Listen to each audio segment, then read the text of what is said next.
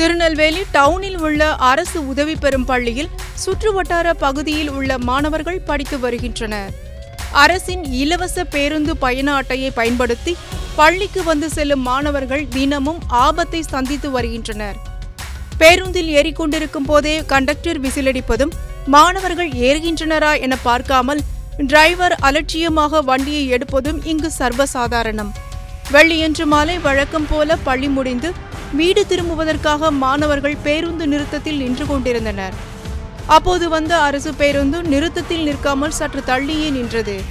மாணவர்கள் ஓடிச் சென்று முந்தி அடித்தபடி பேருந்தில் ஏறிக்கொண்டிருந்தனர் டிரைவரும் வழக்கம் போல பேருந்தை வேகமாக இயக்கியுள்ளார் ஏறிக்கொண்டிருந்த மாணவர்கள் பேருந்தின் சக்கரத்தின் அருகே பின்பக்கமாக விழுந்தனர்.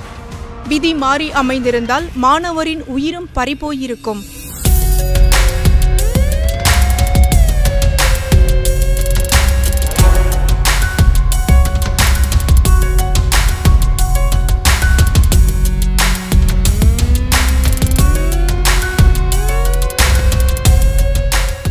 சமூக பொறுப்பு கொஞ்சமும் இன்றி செயல்படும். இவர்களை போன்ற டிரைவர்கள் திருந்துவது எப்போது?